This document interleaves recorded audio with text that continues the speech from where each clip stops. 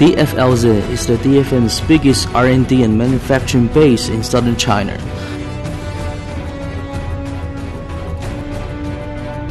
Located in Liuzhou, beautiful industrial center in southern China. It possesses four bases, including headquarters, CV, PV, and Liudong bases. Employees are over 7,000. Operation area is over 1 million square meters, with annual capacity of 80,000 trucks and 250,000 passenger vehicles.